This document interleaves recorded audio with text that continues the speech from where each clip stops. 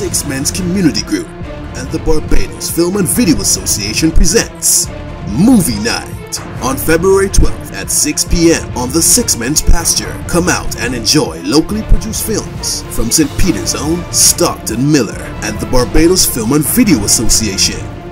Don't miss a night to remember. Be there.